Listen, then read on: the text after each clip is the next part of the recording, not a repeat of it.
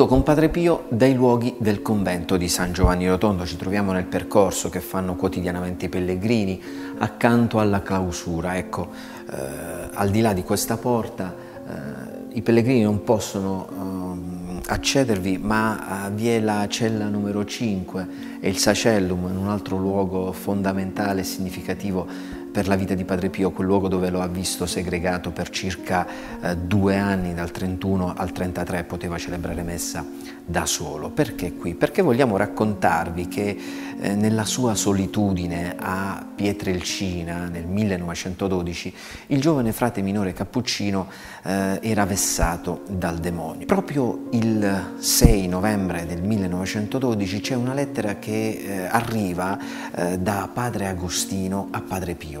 È una nuova strategia. Padre Agostino scrive in francese, è uno di quei doni particolari che eh, ha avuto anche in vita Padre Pio avere la possibilità di conoscere altre lingue, ma in questo caso era il suo angelo custode che gli faceva da traduttore.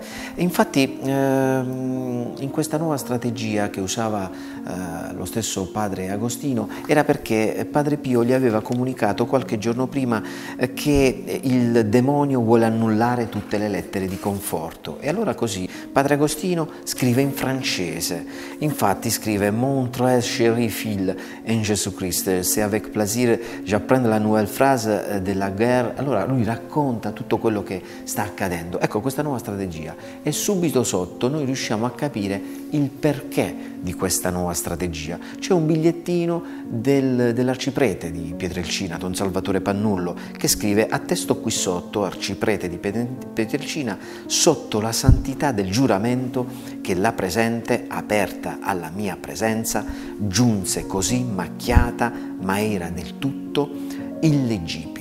È questa foto che ci permette anche di eh, dare uno sguardo a quella che, tra l'altro che voi conoscete tutti nel suo epistolario, abbiamo tante volte visto, eh, risale proprio a questa giornata.